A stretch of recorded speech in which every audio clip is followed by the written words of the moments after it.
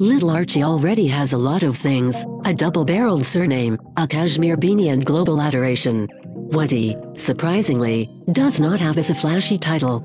Instead, the Duke and Duchess of Sussex have decided against letting their son be titled the Earl of Dumbarton, rather, he will be known by the more democratic master. Their reasoning is simple they want the lad to have as normal a life as possible, unencumbered by a future of plague unveilings, horse shows, and endless Commonwealth cocktail parties. Also, perhaps more importantly, they want to keep him as far away from the glare of the intrusive, insatiable press as they can short of forcing him to grow up on an isolated Pacific atoll with no Wi-Fi. To understand this formidable commitment to sequestering Archie away from the media hordes, you don't need to look much further than the way Diana, Charles and even their grandparents have subjected the Wales brothers to the press since infancy. In the 1980s, there were regular, highly adorable photo calls that captured Wills and Harry as chubby, angelic toddlers and small children. Look back at footage of Wills, aged only 18 months, taking wobbly steps towards a wall of cameramen in 1983 both very sweet and quite sad. He was having to get used to the omnipresence of the Fourth Estate before he could even speak. You can watch it all here.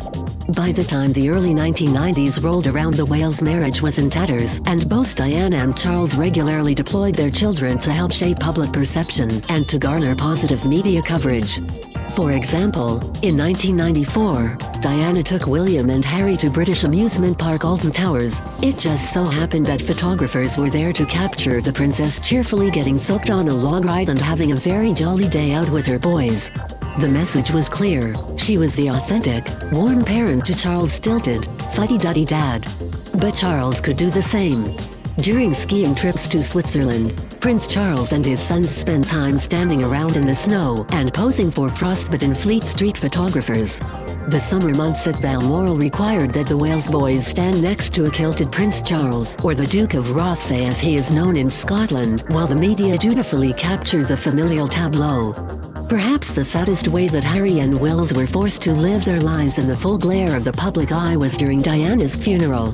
Public sentiment had turned against the Queen and the Windsor clan for their apparent coldness in the face of an outpouring of national grief and brought the monarchy perilously close to the edge. In this context, having William and Harry, then aged just 15 and 12, take part in the agonizing, heartbreaking walk behind their mother's funeral cortege seems like a calculated means of co-opting the public goodwill towards the boys for the royal family's own benefit. It was something Harry himself railed against in a 2017 interview with Newsweek. My mother had just died, and I had to walk a long way behind her coffin, surrounded by thousands of people watching me while millions more did on television, he said. I don't think any child should be asked to do that, under any circumstances. I don't think it would happen today. Given all of this, it makes perfect sense Harry wants to protect his child from ever being used as a pawn as some part of palace skullduggery. By making him plain old Master Archie, the Sussexes are putting paid to any future possibilities of him being regularly exploited for the royal family's PR benefit. So Master Archie, enjoy the peace. You will be able to toddle around your garden without ever having the BBC present, you lucky little sausage. Your parents have made a very wise choice.